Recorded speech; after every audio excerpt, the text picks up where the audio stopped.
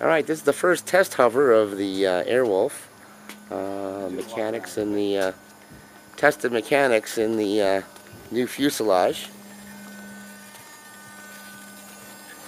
So here we are on the tarmac, waiting to see what the uh, hover characteristics are.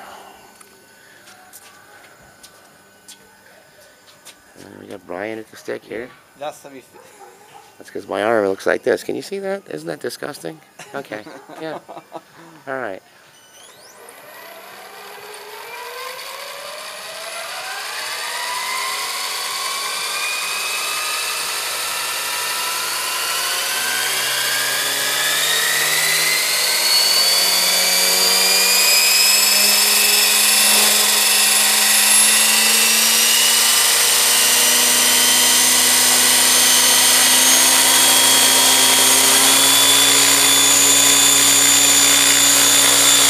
We go.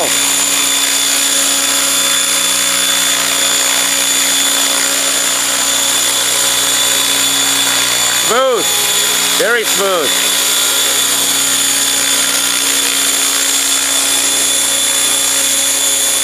And we're only at half on the six there. Plenty of reserve power, wouldn't you say? 80, we're at 85% throttle, 85% on the uh, ESC. I can feel the breeze from it. Yeah, so can I. Oh man, this is beautiful. Very sweet, very sweet. Okay, good first test. Good first test.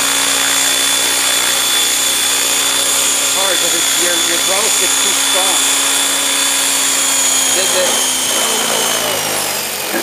The, the, hell? I think the Helicon I was starting to take a little bit. Um, you know what it was? I, I was it's because I was backing off super slow because I didn't want it to drop too hard. Uh-huh. But this stick, the tensioner is really tight on it. Yeah, And I was afraid. To, I was afraid to go wink and like you know because Yeah, like, yeah, no, no, I, I fly with a tight tensioner. I I, know, don't know. but on- on the, you know when you're trying to sit down gently, it's hard to not go too far. You know what I mean? So it's just trying to. I just All right, well, that's the first hover of uh, the Air, of Airwolf.